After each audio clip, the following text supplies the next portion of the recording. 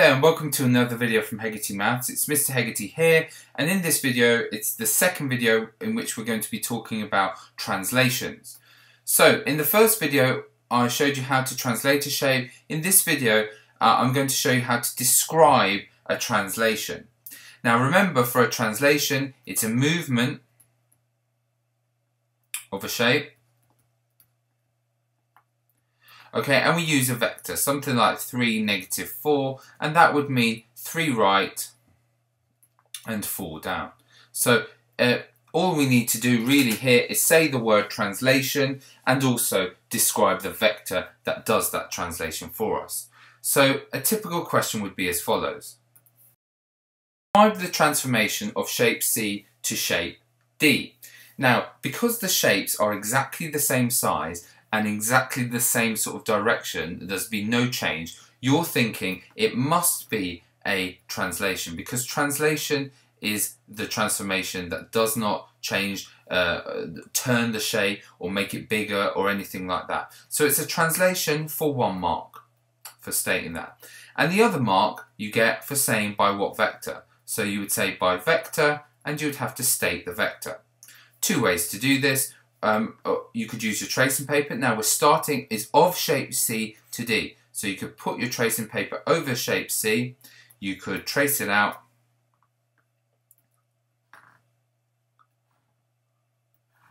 As follows.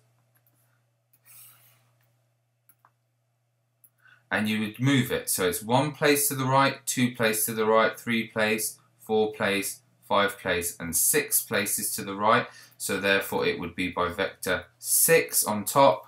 And then it's going up 1, 2, 3, 4, 5, 6, 7.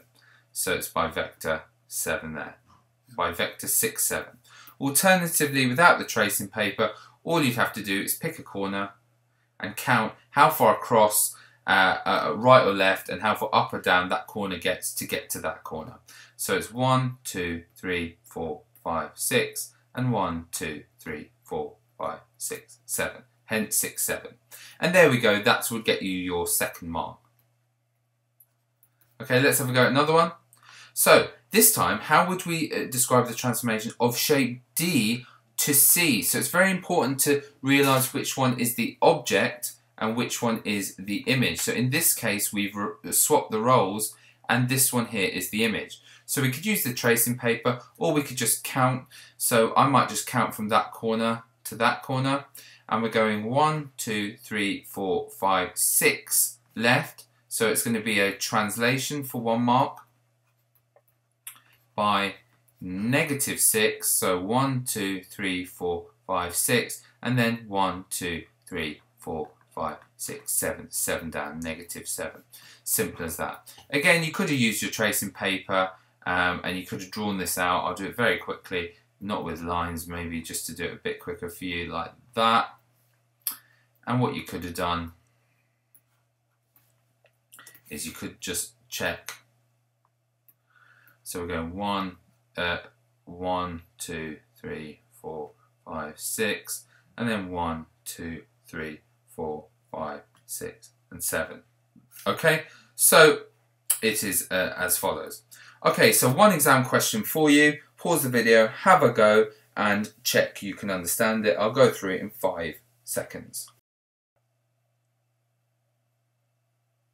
Okay, so we are describing fully the trans single transformation that maps triangle A onto triangle B. So from A onto B. Now, because they're both the same way up and they're the same size, I'm thinking it's a translation. So that would get you one mark.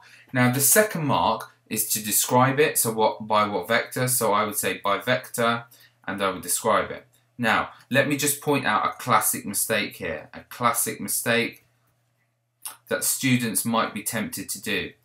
They wouldn't read the question carefully and they just go from B to A. So they'd say it's by vector 1, 2, 2 across and 1, 2, 3, 4 up. They'd say by vector 2, 4.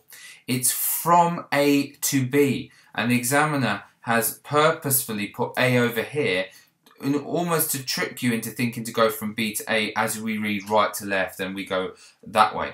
But it's from A to B. So what we're going to do is we're going to pick a corner here and it's 1, 2 to the left. So it's by vector negative 2 and then 1, 2 and it's 1, 2, 3, 4 down negative 4. So to be absolutely careful to avoid that mistake, we're going from A, which is the object, to B, which is the image there. Thanks very much for watching. Hope you found that video useful.